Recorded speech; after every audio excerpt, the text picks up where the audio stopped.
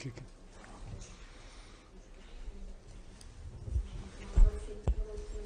Bem, muito bonito. Portugal estava claramente Ah, preparado para esta noite, desde logo por estarem a jogar em casa. Prédios sempre abertos. O Sérgio mostrou mais que queria ganhar eh, este jogo. Portugal fez-se que o empate chegava. Como é que justifica que uma equipa desta qualidade faça este jogo perante o seu público? Sim, justificação não tem, portanto, em primeiro lugar, eh, o que temos que fazer é, obviamente, assumir a responsabilidade. Eh, e eu, como treinador, que sou o principal responsável por aquilo que não conseguimos fazer. Isso é evidente. A Sérvia eh, conseguiu ser melhor eh, em muitos momentos do jogo. Eh, nós não pensámos no empate, isso não, não passou para a nossa cabeça. Nunca falámos em empatar este jogo, sempre montámos o jogo para, para poder vencer, eh, sempre foi nessa perspectiva. Aliás, entramos nessa disposição clara a pressionar alto, a tentar eh, encontrar logo a forma de poder fazer gol e até o conseguimos fazer, não é? Eh, depois, a partir daí, começámos a ter na realidade muitas dificuldades. dif- a circular a bola sempre muito atrás, a baixar as linhas, a baixar muitas linhas. houve vários períodos um no momento da, da primeira parte em que tivemos quase a defender nos últimos 30 metros, o que não é normal na nossa equipa. Obviamente terá havido algum mérito do adversário e houve na, na, na disposição que colocou no jogo, não só a disposição em termos de vontade, porque minha- os meus jogadores tiveram todos muita vontade e não parece que, que seja por aí. Agora, eles jogaram a 4 no meio campo, mas um 4 um 4 que era 2-2, era tipo um quadrado, quase que um quadrado, um- uma espécie de um rombo, eh, que, que nos criou algumas dificuldades. Eh, eles já tinham jogado lá assim Então foi o quadrado que nos lixou. no jogo da, da- da primeira mão, depois na segunda parte, porque na primeira parte jogaram como jogaram aqui agora na segunda parte, um 1-2-1-2, que, é, que era diferente. Eh, e eu tentei chamar os jogadores, porque estava, o Tadic estava sempre sozinho, conseguia sempre receber a bola, tentei chamar os jogadores para agrupar os quatro jogadores no meio campo, para que na realidade bloqueássemos aí o meio campo, porque atrás não precisávamos ter mais gente, tínhamos dois centrais só contra um avançado, os nossos laterais podiam bater com os laterais. E portanto eh, chamei os jogadores para tentar retificar esta questão. Eh, melhorou, foi melhorando, melhorando um pouco, mas nunca foi tão convincente. O Bernardo veio para dentro para podermos jogar ali, na realidade, numa situação diferente, com, com, com mais um losango, um 3 no meio campo, que nos permitisse, na realidade, encaixar ali no adversário, ganhar a bola no segundo terço e a partir daí poder desenvolver alguma situação de ataque. Eh, mas o que é verdade é que tivemos, eh, tivemos dificuldade, principalmente eh, em termos ofensivos, tivemos muita dificuldade quando, quando conseguimos sair e às vezes que conseguimos sair até criámos alguma situação. Por exemplo, o Cancelo, a, única vez que na primeira parte conseguiu chegar à linha de fundo, até criou uma situação, foi mesmo acabar o jogo, criou uma situação eh, de perigo para o adversário. Eh, mas pronto, a Sérvia controlou mais o jogo, que, criou na realidade uma outra situação, fez um golo.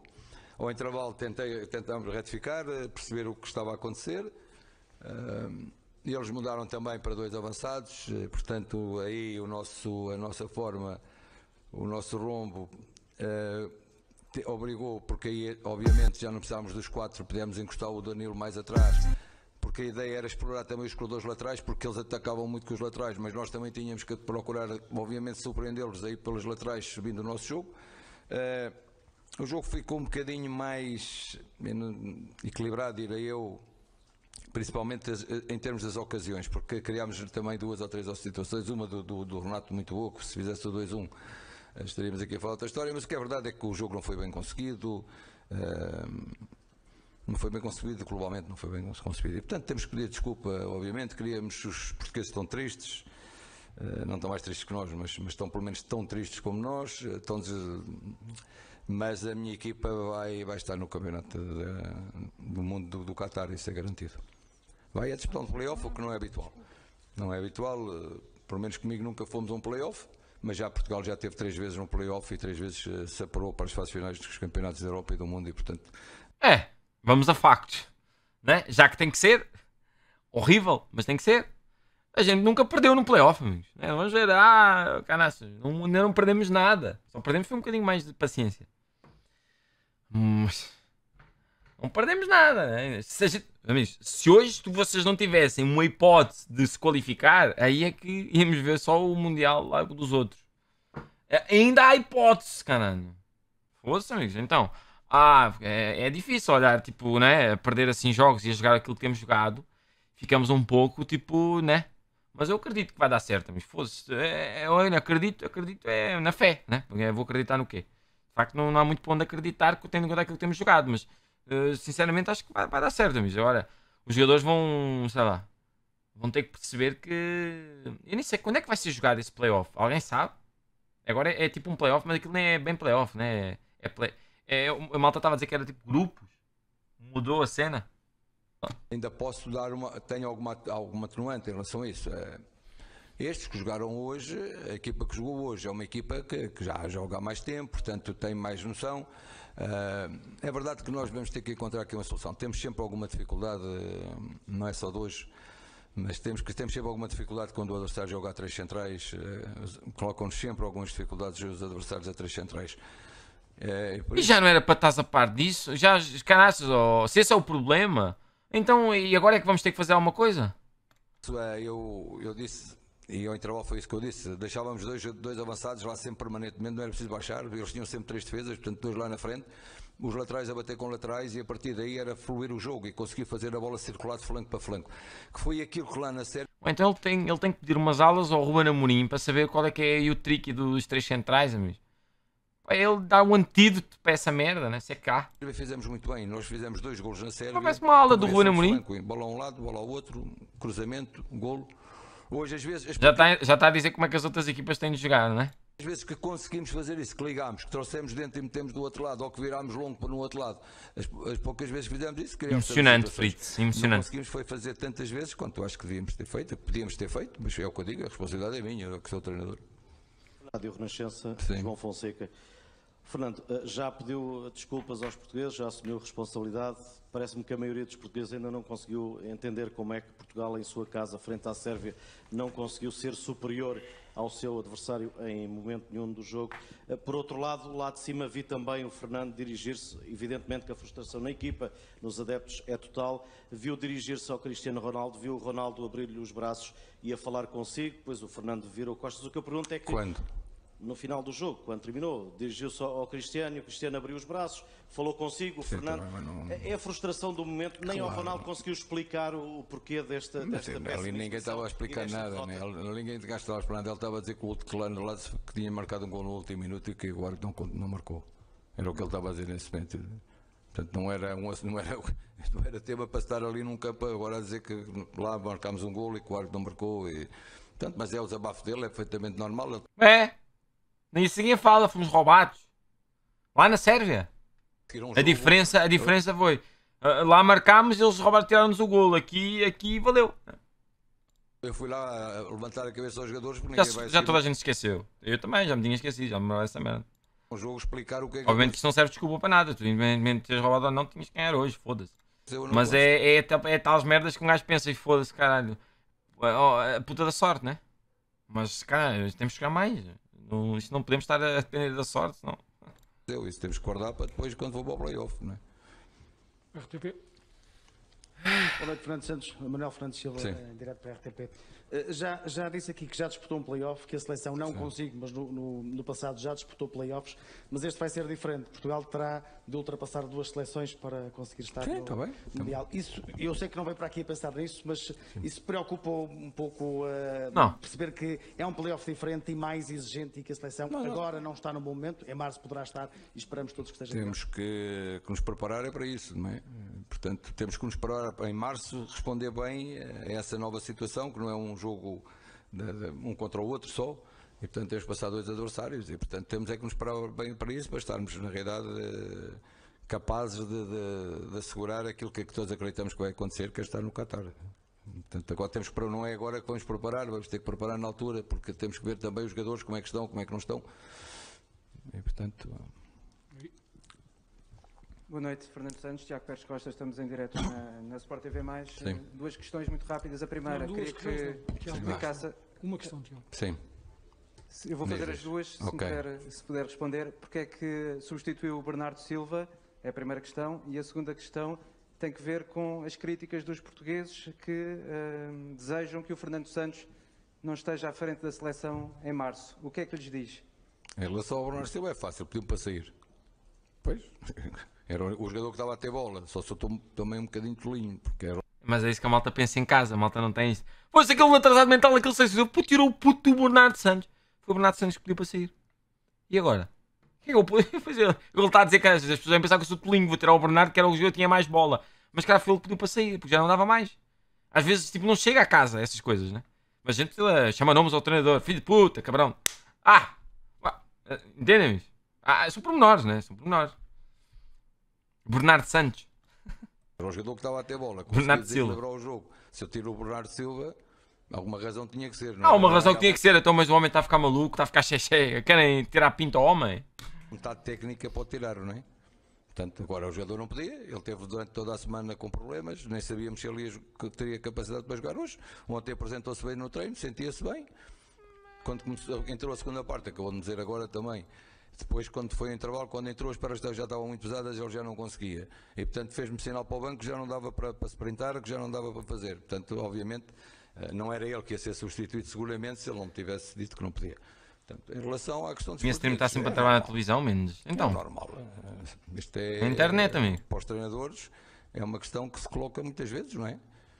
Obviamente o público está insatisfeito, a equipa não jogou bem estes jogos, e, é, portanto é normal que, que, que, os portugueses manifestem, manifestem essa, essa vontade, não é? Mas agora isso é um assunto que não. Eu não, não estou aqui acredito que tenho toda a capacidade para levar Portugal ao campeonato, de, de, ao Qatar. Isso. Canal 11. Boa noite, Fernando Santos, em direto para o Canal 11. Uh, ah, na flash interview, os jogadores até estavam com um discurso um pouco mais desanimado do que o próprio Mister. Aquilo que eu lhe pergunto, até porque, por muito que as críticas também venham dos portugueses, a equipa é que vai jogar neste play-off. O que é que tem que fazer para melhorar esta mentalidade uh, do balneário num play-off em que passam poucas equipas para a fase Não, eles estão, eles estão muito desanimados, na realidade. Eu também estou, também estou, estou muito triste, não é? Mas obviamente tenho muito, continuo a ter muita confiança neles. Agora, eles acreditavam, estavam absolutamente convictos que iam, que iam vencer aqui a, a Sérvia e que iam seguir em frente. Uh, e para eles, algum deles é algum choque brutal o, o, que aconteceu e, portanto, é normal esse desânimo, de, especialmente aqueles que estão aqui há menos tempo e que estiveram no jogo. E eu vi que alguns deles é que foram ao flash, é perfeitamente normal. Tens, eh, chegas à seleção, tens, jogas 3, 4 jogos na seleção, estás com uma grande ambição, acreditas que as coisas vão acontecer e depois eh, não acontece aquilo que, num jogo destes, estádio cheio, estádio com 60 mil pessoas, no teu país, um jogo decisivo e não consegues, é normal que, que, que eles tenham esse sentimento. Eh, eh eu também tenho, também estou triste, estou frustrado, mas eh, não, não, não deixe de ter confiança em mim próprio e não deixe de ter confiança nos, nos jogadores. E sei que estes jogadores são capazes de responder à altura. Já o fizeram muitas vezes. Hoje as coisas não aconteceram bem, na realidade, eh, não aconteceram bem, nem em termos de resultado. Porque na, no jogo anterior eh, não aconteceram bem, mas em termos de resultado acabaram de funcionar, até mesmo jogando com 10 na parte final. E hoje não, não, não resultaram durante o jogo, mas também não resultaram bem em termos de resultado. Boa noite, Mr. Hugo Felipe Martins para o 00. Sim. Aqui, um, aqui deste lado. Uh, acabou a fase de grupos. Eu sei que ainda há um playoff, mas uh, Portugal já vem tendo alguns problemas já desde do, do próprio europeu, que só ganha um jogo. Uh, eu sei que estamos no final de, um jogo, de, de uma partida, mas pedi-lhe uma visão global. Porquê é que Portugal, com uma equipa com tanto talento, joga tão pouco futebol?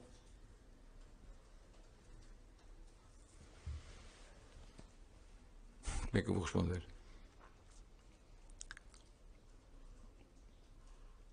Eu acho é que, obviamente que temos talento, temos muita qualidade, jogadores com enorme qualidade, eh, principalmente com bola, e temos que ter, eh, pôr essa qualidade em, jogo, não é? E é isso que nós treinamos, é isso que nós pedimos, é isso que eles querem fazer, e portanto é que muitas vezes têm feito, e que na realidade nos outros jogos não têm conseguido. Eu já disse que há, na realidade, na minha leitura, Estamos com dificuldade a jogar com adversários, já o tivemos no Campeonato da Europa. Mas ele devia estar a pensar, caralho, agora é que ele me fodeu. agora é que com esta é que ele me fodeu. A Europa já foi assim. Adversários a jogar a três, principalmente como jogou a Alemanha ou como jogou a, com, com, a Bélgica, tivemos sempre alguma dificuldade em ligar o nosso jogo, em conseguir articular o jogo.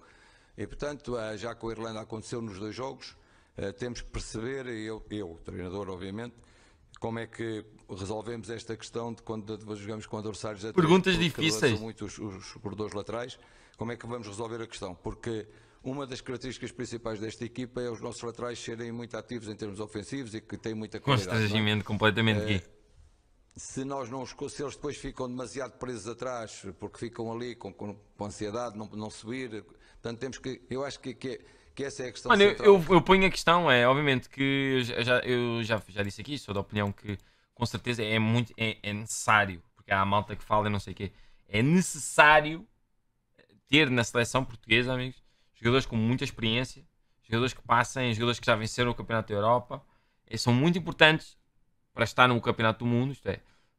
Mas, mas é aquilo que eu pergunto é agora para, para a qualificação e, e já em, em, tom de ensaio para, para. Não sei se é com o Fernando Santos ou é com outro treinador. Amigo. Para mim, é como eu digo: foda-se.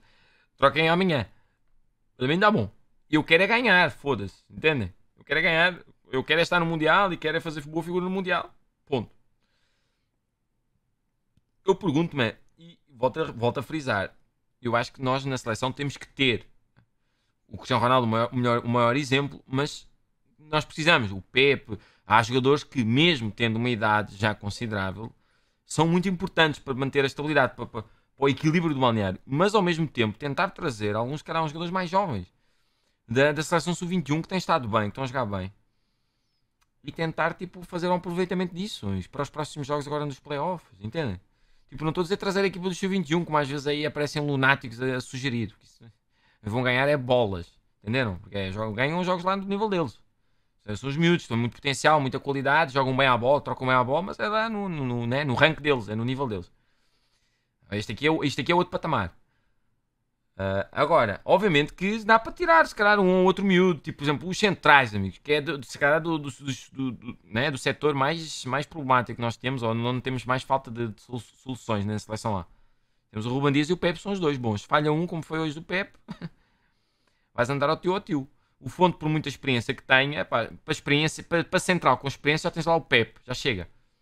Então traz um central miúdo aí que esteja a jogar bem. Tipo, tens dois, três miúdos que podem ser convocados, mas que jogam no Sub-21. Uh, ah, e isto como por, como por exemplo outras posições, sei lá. Tu, uh, a questão do Danilo, do William, sei lá. São jogadores que. O William acho que agora até tem andado a jogar no Betis.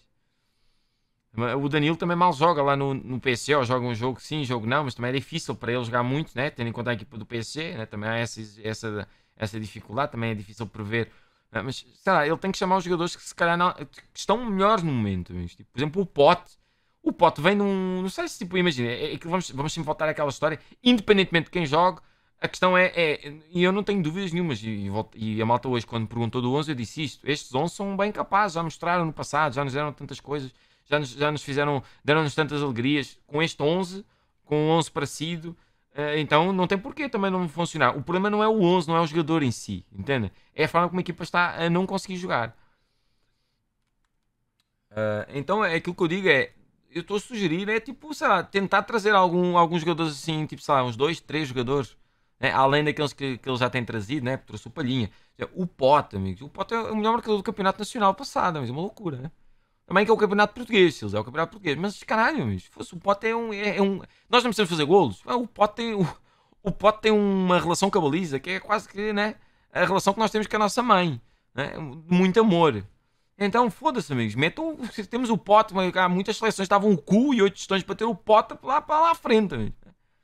É, para, para ser como opção, não quer dizer que seja titular, porque é difícil. Quando, tu tens, quando tens o Félix, tens o Diogo Jota, tens o Bernardo, tens o Ronaldo, é difícil o pote ser um jogador titular. Mas, tipo, é um jogador que se calhar assim traça aí 20, 30 minutos, podia fazer diferença, mas entende? Uh, é foda, mas.